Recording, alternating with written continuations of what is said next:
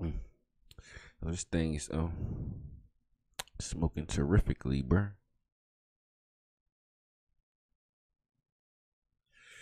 They just most certainly doing that, bro. Uh, let's this this this this this let's jump in, bro.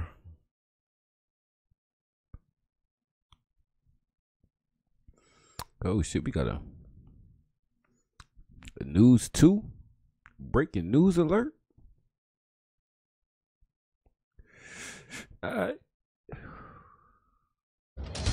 I'm Laura Schweizer at the WKRN.com alert desk. Two men are facing felony drug charges after 48 pounds of marijuana was found in luggage at BNA. Police say canines were on blind runs of luggage at the Nashville International Airport when a United Oh, Nashville. Okay, okay. So, so hold on. So they they they flew from San Francisco to Nashville with forty eight pounds of weed in two bags. Why? Why would they do that?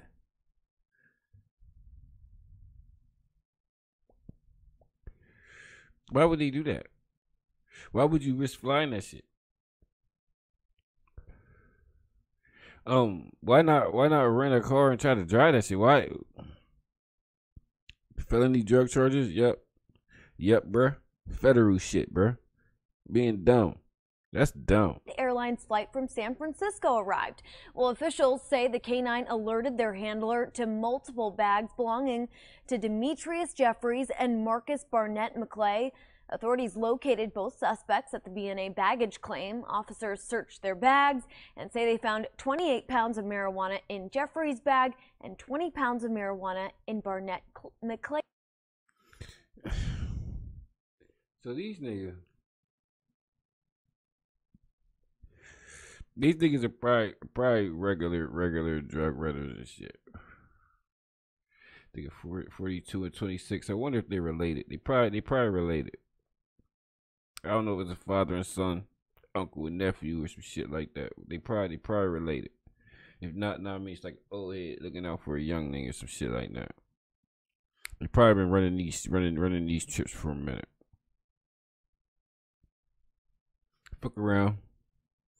Fuck around, got found out on a random ass, now I mean, uh dog sniff. Random ass dog sniff, bro. I understand. I understand shit. Um, Nashville, well, Tennessee, Tennessee, the shit, the shit ain't legal in Tennessee. But trying to fly that shit in, that that is the dumbest thing in the world, bro. That's the dumbest thing in the world. Y'all kind of, y'all kind of deserve to be caught, bro. Plays back. We'll more on the story at WKRN.com. I'll say this though. 48 pounds. Somebody block about to be dry for the for the, for the weekend. Somebody block about to be dry as fuck. Ain't enough to like shut down the city, but whoever mean was expecting that to come in. You're gonna be ass out this weekend, my dude.